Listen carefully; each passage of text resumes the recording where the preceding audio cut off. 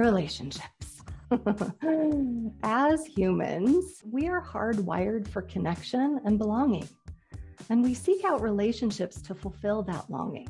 It's a beautiful thing, right? It really is. And yet, in that longing, in the seeking, and in being in relationship, we often find ourselves in turmoil.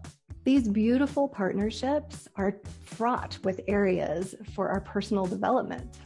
They are a breeding ground for our own expansion. Being in relationship, whatever that relationship is, friend, romantic, business, family, acquaintance, is the path for engaging with our own life lessons.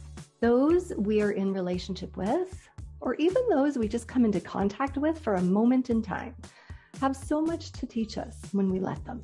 They can teach us about who we are, what we need to do for ourselves, how to set our expectations more effectively, how to ask for what we want, and where to set firm boundaries for ourselves that we've been a little wishy washy with in the past. They teach us what we want and they teach us what we don't want. Relationships offer us the opportunity to create a rich tapestry full of stories to be revised and rewoven, emotions to be processed and owned, and behaviors to be reviewed and chosen. Our relationships are a compilation of our thoughts and belief systems.